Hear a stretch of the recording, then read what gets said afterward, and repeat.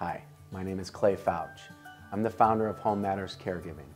It was back in 2007 when we were starting our own agency that we saw the need to change the way home care was provided to aging adults.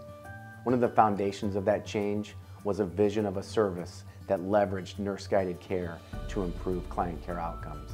For us, when we think of nurse-guided care, my initial thought is I go back to starting our own agency and being guided personally by one of our first nurses.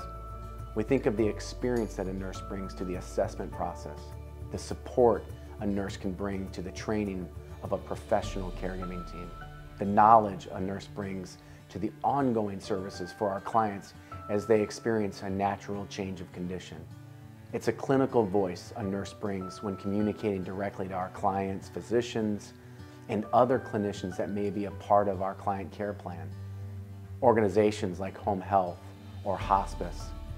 It's this commitment to nurse-guided care that Home Matters Caregiving brings to all of the clients we serve. Give us a call or contact us through the website to learn more. Thank you.